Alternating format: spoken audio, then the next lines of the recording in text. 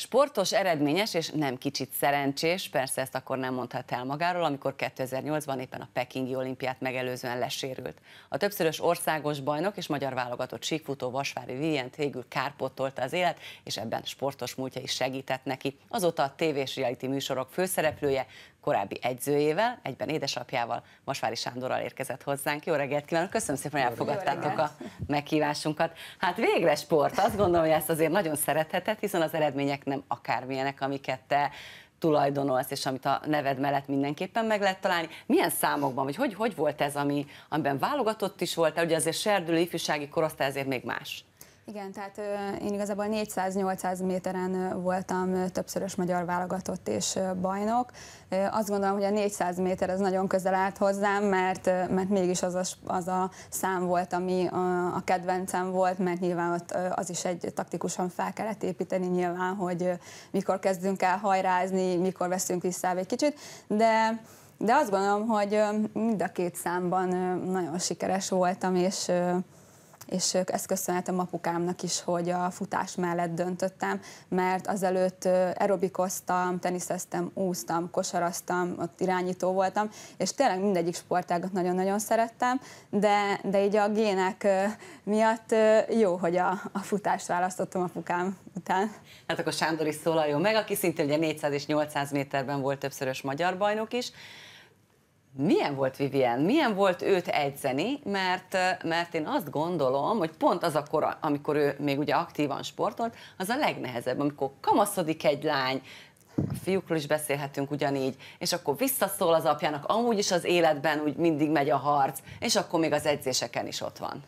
Nem volt egyszerű, de már kicsi korában Nagyon is... nevetsz jól, látom a dolgot. Már kicsi, már kicsi korában is egyébként kitűnt a fizikai képességeivel, tehát elég gyorsan mentek a lábai.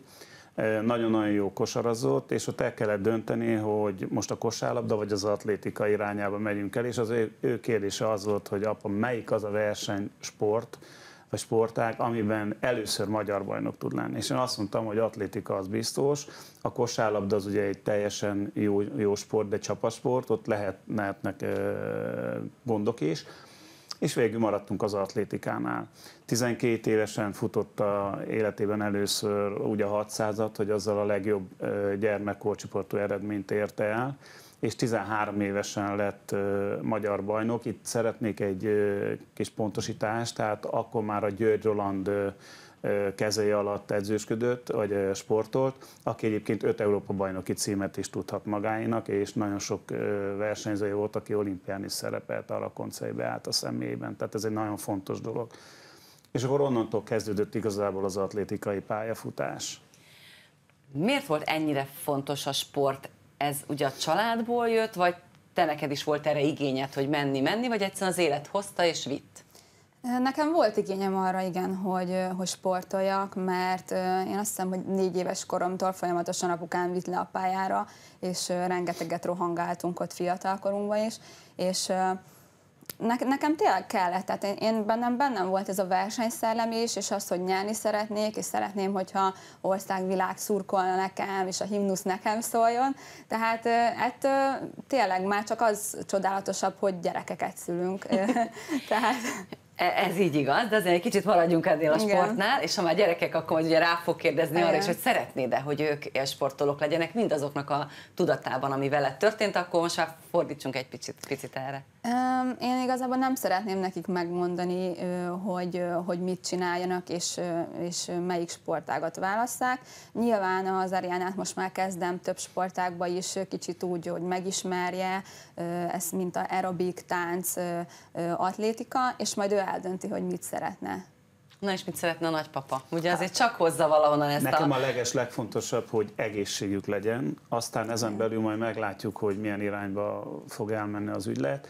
De én azt gondolom, hogy ha a gének nem halnak meg, akkor, akkor csak találunk valami olyan sportágat, amivel kiemelkedők tudnak majd lenni. Úgyhogy jelen pillanatban három unokám van, úgyhogy hála Istennek született egy fiú is, úgyhogy igyekszünk a, az egyensúlyt helyre tenni de én azt gondolom, hogy a leges legfontosabb az egészség, és azután majd meglátjuk, hogy mibe tudnak majd előrelépni.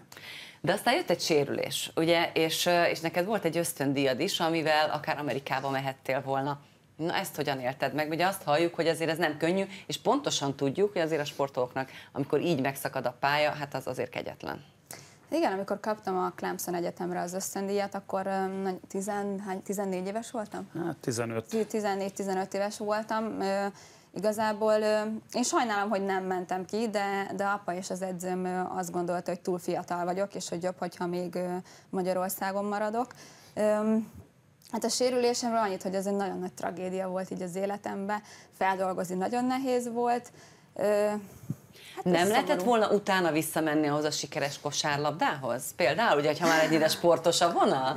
Tehát, hát hogy... én megmondom őszintén, hogy nekem az életem a futás volt. Aha. Tehát, hogy nem is gondolkodtam onnantól kezdve, miköz, miközben elindult a, a futás ö, nekem az életemben, hogy visszamegyek bármilyen más sportákban. Amúgy az atlétikát próbáltam a sérülés után is, de megmondom őszintén, hogy nem volt már meg ez a, ez a nagy akaraterő, mint ami, mint ami ö, ö, tizenéves koromban.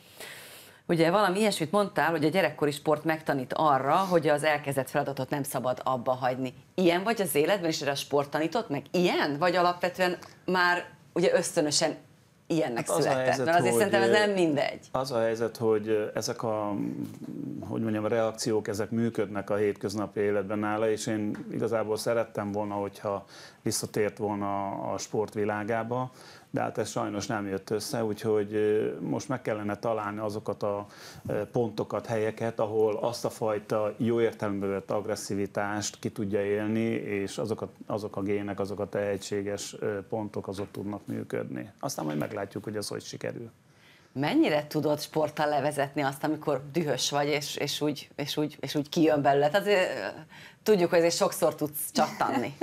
igen, tehát... Van ilyen, hogy akkor fogod magad, és leteszel mindent, és elmész futni? Van ilyen, igen, hogy engem igazából a sport nagyon kikapcsol, és úgy, úgy gondolom, hogy a stresszt az teljesen így oldja a sport. Tehát én mai napig járok konditerembe, kimegyek a partra futni, nyilván nem mondom azt, hogy három perces ezreket megyek, de, de, de azért igyekszem, hogy ne ez a tötyögős tempó legyen, és, és tényleg, tényleg kikapcsol, és számomra ez fontos.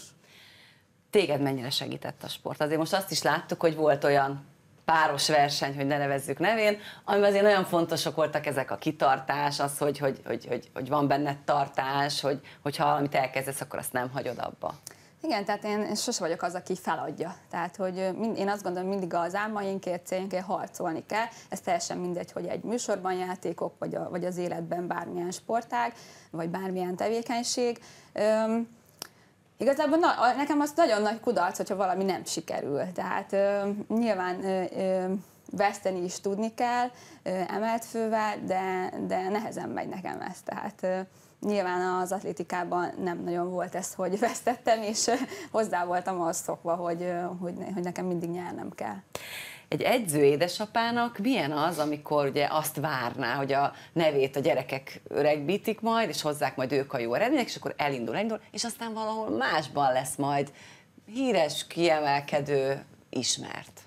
Hát én megmondom őszintén, jobban szerettem volna, hogyha a sportnál maradunk, de hát az élet most így hozta.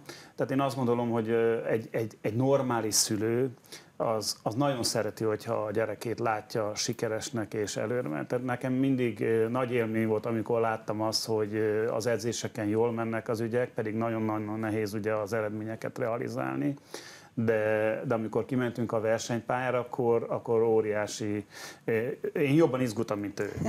Tehát mi tudtuk azt, hogy magyar bajnoki címért megyünk, vagy nemzetközi szinten szeretnénk győzni, és ez egy olyan fajta eh, lökést tud adni a további munkára, ami, amit egyszerűen csak azt tud átérezni, aki a versenysportban benne van. Ugye azt említettük, hogy 2008 előtt történt ez a sérülés, a Pekingi olimpia azért nem lett volna reális, igaz? Vagy mi lett volna a az, londoni. amiben... London. Uh-huh. Igen, hát készültünk, de nyilván, nyilván megpróbáltam volna ott lenni a Pekingi olimpián is, de mivel megsérültem, így nem adott ott az a lehetőség, hogy, hogy egyáltalán ott legyek. Mi volt itt a nagyobb probléma? Egy, egy igazi nagy sérülés, egy rossz rehabilitáció, vagy akkor még nem azok a körülmények, amik, amik ebben segítettek? Hát igazából azt hiszem, hogy fél év volt, még, még eljutottunk odáig, hogy kiderült, hogy mi a probléma mert, mert eleinte ülőideggyulladást gondoltak, hogy van nekem, közben jártam mindenféle gyógytornára, ami ráadásul nem is segítette elő a gyógyulást a sérülésemnek, mint kiderült, és és egy ultrahangos gépet találtunk, a dr. Eszter Gályos doktor úrnál derült ki az, hogy nekem milyen izomszakadásom van, és Hát az, hogy most az, hogy mennyi idő kellett ahhoz, hogy a sérülésem úgymond begyógyuljon, én mai napig azt mondom, hogy amikor elkezdek futni, még mindig érzem. Tehát, hogy, hogy ez a regenerálódás, nem tudom, hogy mennyi. Ezt egy edzőnek, egy édesapának milyen feldolgozni, hogy, hogy itt vége, hát és nem tudod segíteni? Hát az a helyzet, hogy abban igaz, amit a Vivi mondott, hogy körülbelül hat hónapunk ment el, és az az ifjúsági világbajnokság előtt volt pont ez a szakasz. Tehát ez igazából az úgy kezdődött, hogy minden évben májusban volt egy nagyon komoly arcüreggyulladás, meg minden, ami ezzel jött, tehát szövődmények is lehettek. Hát nem véletlenül mennek el most már így január-február tájékán igen. a sportolók, amennyire lehet más, hogy ki kellett venni, el ezeket. Igen, ki kellett venni a manduláját, és annyira gyorsan akart visszatérni, hogy nem, nem, igaz, nem volt türelme, tehát annyira benne volt ez a versenyszellem, és egy hosszabb futás után, egy gimnasztika közben, tehát tényleg egy ártatlan helyzetben történt egy ilyen szituáció, amit nagyon-nagyon sokáig nem találtak meg. Aztán végül a György Rolanda feljöttünk ide Budapestre, és az Esztergályos doki ránézett az izomra, és mondta, hogy ennek már régen rendbe kellett volna lenni, csak ugye mindig húzgálták, ez erez meg, erez meg. Hát meg fél éven keresztül hát úgy, úgy edzettem tehát, tehát, nagyon tehát még jobb barátság, vagy még jobb barát Még egyet mondjál, Fecsóval is együtt jár sportolni? Vagy ő külön? E, hogy csinált? Vagy, vagy neked kellett elrángatni? Nem, 80%-ban együtt járunk edzeni.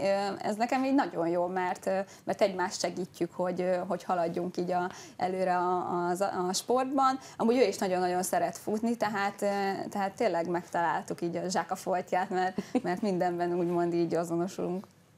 Hát remélem, hogy így is marad. Köszönjük szépen, hogy itt Köszönjük voltatok. Szépen. Köszönjük. Köszönjük szépen.